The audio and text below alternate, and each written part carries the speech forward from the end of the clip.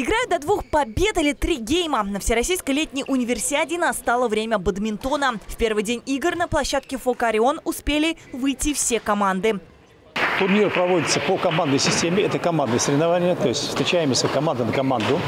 В команде три мужчины, три женщины. Мы играем одну мужскую одиночную игру, одну женскую одиночную, одну пару женскую, одну пару мужскую и одну смешанную. Пять встреч.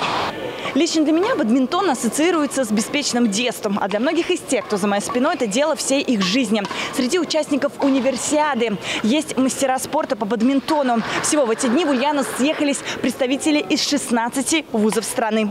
Среди таких профессионалов Регина Галиахметова из Татарстана. Девушка начала свою спортивную карьеру с деревянной ракетки, которую в детстве ей купил папа. Кидать валанчик училась на пару с сестрой. Так от воспитанницы кружка в родном селе Регина доросла до участницы сборной России по бадминтону. Это ее вторая универсиада. Первую встречу на этих играх провела с Новосибирском. Счет 5-0 в пользу Татарстана. Вообще я командный игрок, поэтому мне не очень тяжело играть в команду.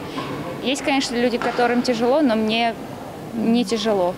Наверное, потому что у меня и семья большая, как-то это у нас четверо девочек, и вот я всегда за всех постою там всегда. Вот. Мне не тяжело за команду играть, психологически я всегда готова.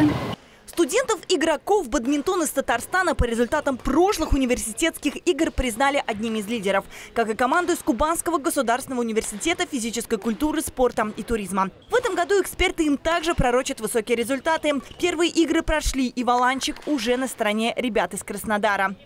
Тут все сильные, честно. Нельзя сказать, что тут есть какая-то команда слабая, какой-то университет или институт. Э, первую игру играли с Волгоградом, встреча у нас была. 3-2 одержали победу, конечно. Вторую его сейчас мы играем, но я вот коллега, так сказать, спортсменка, напарница играет одиночку. Будем выигрывать, как говорится. Ульяновск на универсиаде представляет студенты Института гражданской авиации. В своей группе они встретятся со спортсменами из Москвы, Санкт-Петербурга и Мари Эл. Рената Алиулова, Геннадий Бухтаяров, Улправда ТВ.